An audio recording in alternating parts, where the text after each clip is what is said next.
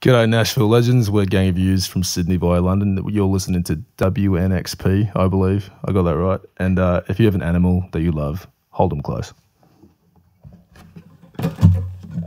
Is that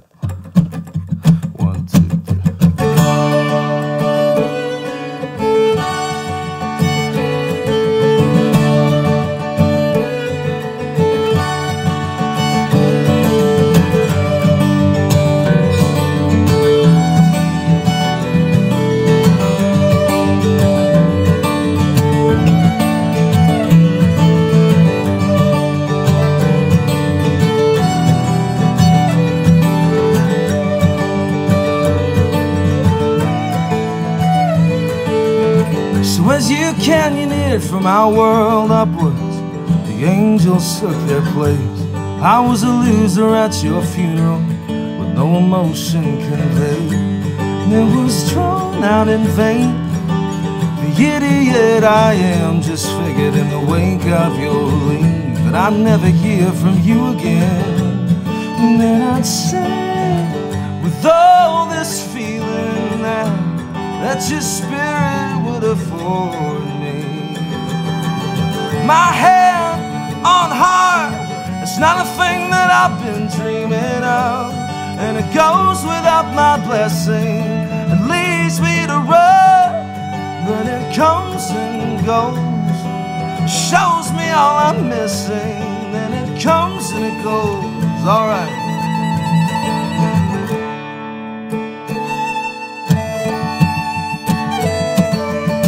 I was there in the backstage trying, all but the words they never came. I was available for a statement, but I just hung my head in shame. It felt nothing to me. All the ceremony I'd waste, and then I'd thank them and leave and say, God bless you all, good night. And then I'd say the grave was turning alright and then nothing would absorb me.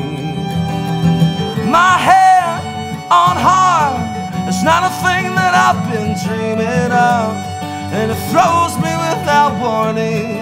It leaves me in the dust, but it comes and goes. It fills me when I'm empty, then it comes and it goes, and I will need it when it's gone.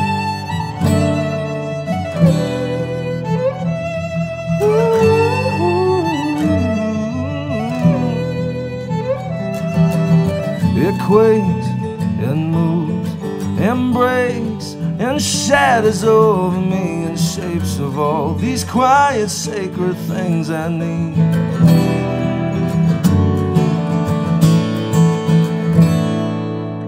My hand on heart, there's a line of something in these songs that are worthy of some mention. You're free to let me know, but comes and grows. It fills me when I'm empty, then it comes and it goes. Alright. My hand on heart, it's not a thing that I've been dreaming of, and it goes without my blessing.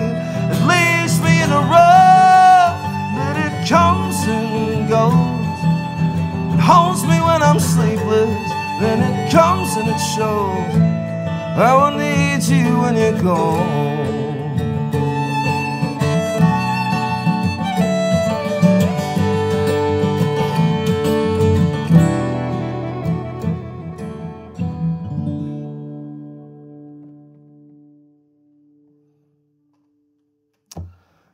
Uh, that song is about uh, a bunch of shit that I can't remember on the spot. No, it's about um, uh, the weird uh, feeling of being at my dad's funeral and wondering if I was ever gonna um, be able to connect with him in a real way. Uh, and the next song is about how I met my wife in New York City, the Big Apple. I don't know why they call it the Big Apple. You know? He's from Chicago. What do they call Chicago? The Windy City. They do. I would have thought the the medium sized pear. Pears are much sweeter fruit. I think. I believe.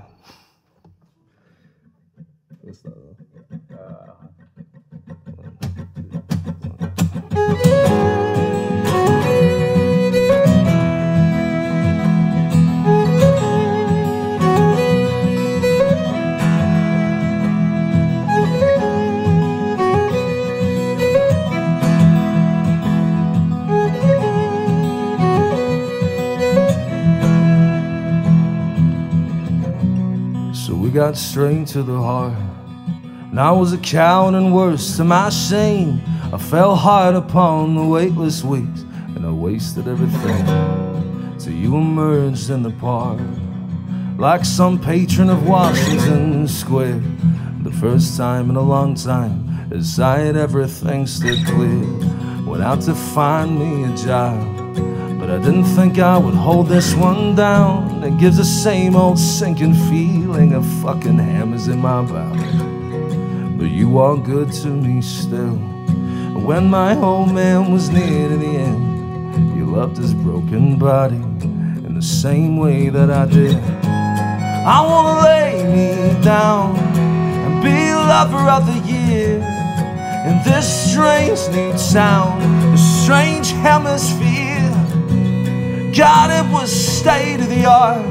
You called each of my sorrows by name, and a tide of tender mercy shook my body from the grave. And in the festival years of our makeshift parade, in perpetual fall, in immeasurable rain, I wanna see this one out. I wanna join the impossible swing and fall hard beside you, screaming at the bowels of everything. In the Islington Moor, you're the angel of eight. And what's more, the goddamn greatest thing the lady ever made. I wanna lay me down and be lover of the year. And in this strange new town, strange hemisphere. You persuade me now to look closer in the mirror, and I'm gonna lay me down for years and years and years.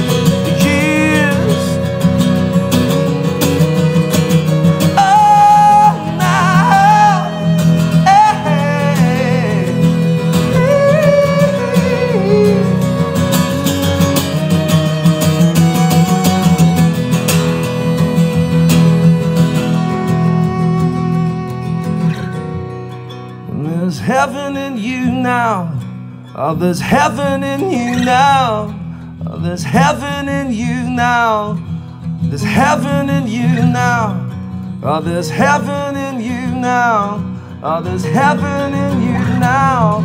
Oh, there's heaven in you now. Oh, there's heaven in you now. Oh, there's heaven in you now. Oh, there's heaven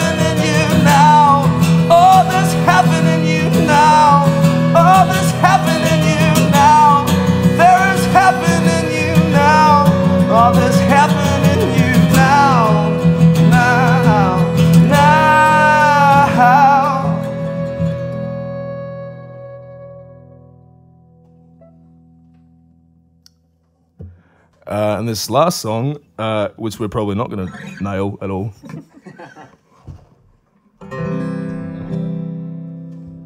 is about how I was a raging piece of shit as a teenager and how very little has changed since then, I think. I have to get a new line about that song that's left self effacing, I think, maybe. But Let's back yourself. I gotta back myself. Uh, this song's about forbearance, and it's called forbearance because it's about forbearance. Makes sense, it's just a nice, quirky word. I thought would make the album titles more interesting. It means it's benign and meaningless, like the band name The National. It doesn't mean anything, but it's a cool name. Cool name. I shouldn't have referenced that because now everyone thinks that we're ripping them off, which is partially true. He's not the only person to have a deep voice in history, by the way. It's this weird comparison. Oh, they're just a national ripoff. I'm sorry. I don't want to. It's so weird. It's just so weird. Sorry. I just I'm, I'm I'm happy to air this grievance on fucking whatever this is. Like I have a deep voice. Um, don't punish me because I sound like that guy. He's a nice man. All right. The song's called Forbearance. Wish us luck. Gods of country music. One, two. was a gracious old sunshine, but it was wasting on me. I was plastered and counting the cop cars out right in front of me. Hey, hey. I was a troublesome young kid. I was a big piece of shit, but I'm hoping that them days in the hospice atone for some of it. And if the whole thing was fair, it wouldn't be me that was fighting for it.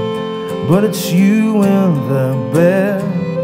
It's so routine that it just threw me, I guess. And in the cosmic ballet, you can't just do what you fucked up again. And the world is not done with me yet. Was in a dulcimer mood. Around the fourth day of June, I accounted for the miles of attention that I got, but couldn't wait to lose. And on the day when I left, when I said I'd be back, I am sorry.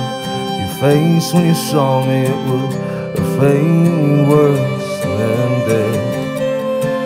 And I just wish that I'd said something more than I'd be back in ten. And if I went there in time, please take a second to go and kiss you goodbye. So I stay by the bed and be some respite for you till the end. And the world is not done with me. Rise and rise, you great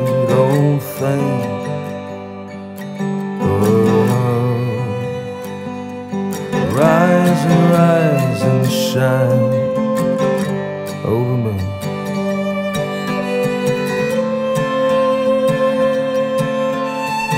All that I wanted was something to save me. And the carnival's over, the ashtrays are empty. Was hardly a place I could look to for safety.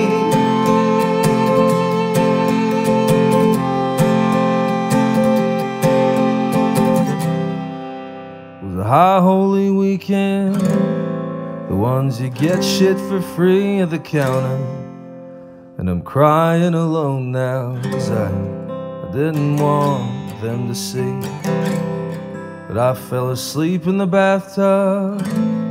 But I woke up in the street, I'm a bastion of the unwanted attention that I got, I couldn't wait to leave.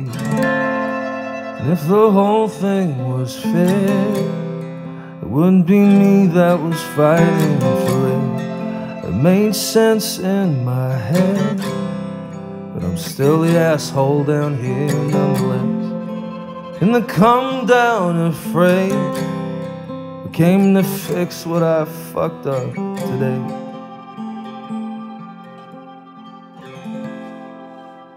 Cause the world is not done with me. Thank you, WNXP, Windows XP. Uh, hey, it's Celia here in the Sonic Cathedral at WNXP with a lovely stripped down performance from Gang of Youths who are in town for a tour tonight. And welcome, guys. Thank you so much for those beautiful tunes.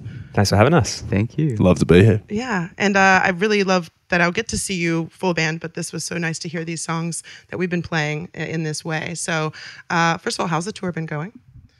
I usually hate touring, but this has been one of the best. I'm sort of like I'm very reticent about touring because of the strain on my voice and our bodies, and I think we're kind of at that age where you know having kids and married and boring. Um, where touring is more of a burden than it is like a blessing. I think we've been together. Me and Jung have been in the band for 11 years, so it's sort of, you know, we've done America so many times to very little fanfare, which kind of suited our personalities. And now I think it's sort of starting to happen a bit more. So, but it's been really amazing for us, especially driving around the south. Like that's that's pretty. I, I think so.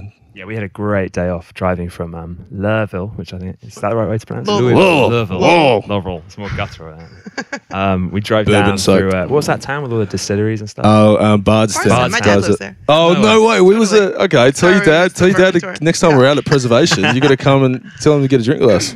Oh, it's quality. Preservation, especially. Yeah, really, really good. We went to Willett. I'm, I'm a bourbon nut, and so I made the boys drive me to there. It's sort of a like the, the American South. You know, my, my wife's from North Carolina, and I've had a lot of experience in the South. But all of us just really enjoy the iconography and the just the vision of a beautiful America. And then also there's all the weird stuff, but you know, it's sort of like making your way through the weird stuff and finding all the nice. The town with the massive furniture, right? Yeah. Oh, we went to this weird, fucking weird town. Big chairs. Yeah, lad, it was like a fucking. Chest of drawers. It was a, wasn't it was a giant Just chest of socks drawers. hanging with- outside Yeah, of six one foot of fucking socks, uh, almost as tall as me. We just want healthcare. You know what I mean? Like, why do we have So this whole town was furniture stores. It was in, it was called High Point, North Carolina, and I, I, it's one of the most bizarre things. And didn't you go to a fake German town? You hear that? We did, yeah. We went to um, Helen, Helen, Helen, uh, Georgia. Georgia. Ever Yeah. heard of that place? No. Well, we we set off with some wholesome, you know, like trail walking and stuff, and jumping in rivers and that. And on the way way there, we just came over the brow of this hill, and then suddenly we were greeted by this uh, seemingly Bavarian town laid out before us.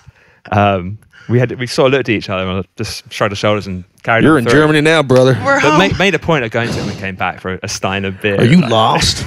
Yeah, was I don't know. so You guys aren't really like touring as hard vibe right now. This seems really fun Yeah, and great. I- So yeah. welcome back. Sorry, Yeah, the, the, the end of that answer was we're having a great Having time. a great time, sorry. This tour. We'll go off in tangents. I Well. I know I did want to ask you about place though, because I guess before this most recent record, you've been settled in London for a minute, right?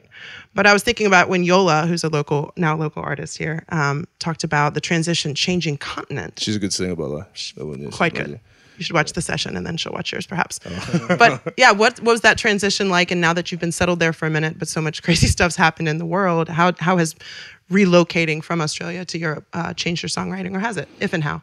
Um, for me personally, it's it's sort of a weird thing because I, I was in New York on and off, and I'd lived in America before that. Um, so it was it was less weird to transition from Australia. I feel like I kind of kind of bring Australia with me, but moving to the UK just gave me more perspective on what it was to be like a settled person, maybe a happier and healthy person, not so corrupt by fucking all the um, all the self indulgent melancholic bullshit that I kind of project onto the world through the music. Um, and it just, it, you know, I think Jung's the same. Like Jung's born and raised in Chicago, but he's lived elsewhere. So for us, like being itinerant and moving fucking different places, isn't isn't weird. But London's given us real settlement and security and like a sense of like belonging.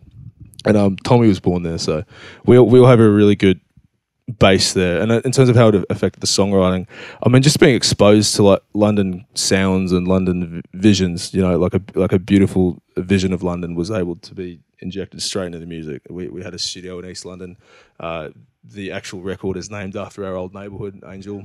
Yeah, Angel Angel Real Time is named after Angel in, in Islington in North London, and so it sort of um, it permeated every every fucking angle of where we were going with the record. We wanted it to feel like you know we're an Australian band. I'm Aussie as shit, you can hear, but we wanted it to feel like a uniquely London album. Does that make sense? So Yeah, I it does feel that way. Yeah, that's that's we've tried to, I guess, Mm. inflict as much y- y- uh, English iconography as possible. Yeah.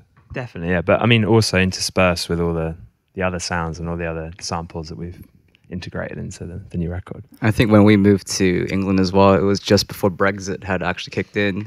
And so I kind of took advantage of that to be able to go visit a whole bunch of places in Europe on my own.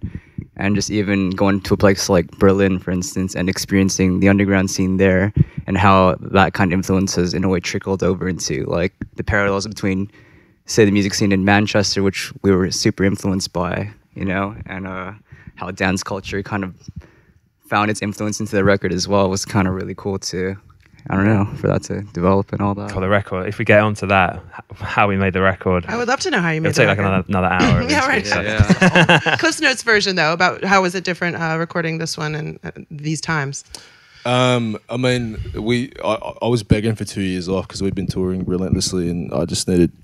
We was um, we was really happy when all that shit got called off. If I'm honest, and the world was suffering and people were suffering, and I think like all we could do is just rent out a little spot and just record. And I think it was a it was a more densely collaborative process. I think for all of us, um, I tend to be the, the mouthpiece of the thing because all the all the bullshit comes from the nog. But um, we were able to kind of integrate so much of each other's personalities and skill sets into into the like the the the studio environment, so to speak. And I think also it was it was more like a patchwork assortment of things that we'd we'd put in the music. So I'd hear a, a beautiful um, sample recorded by David Fanshawe from the Pacific, my my um, you know my ancestral home, uh, and I'd lay it down, and then six weeks later we'd go back to it, and then fucking Donnie, our drummer, and our wonderful bass player, just put loads and loads of shit down, and so that was kind of part of the way that we did it on this record. Whereas before, we'd usually just record live. And you know, before Tommy joined the band, it was like we have to be a live band. That's what every fucking cool indie rock band mm-hmm. does. And then we realized that's a lot of shit. And it's all that's all aesthetically driven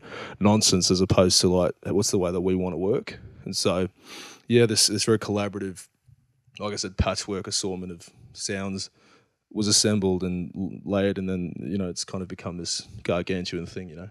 Mm. Oh, I love that.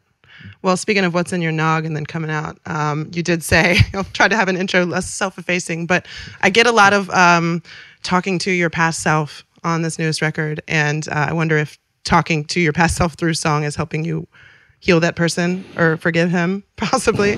This is heavy. This just turned into talk therapy, but here it is. Um, I, I think Jung, Jung, because Jung has known me probably the longest. Um, he'd probably argue that I'm a bit hard on myself.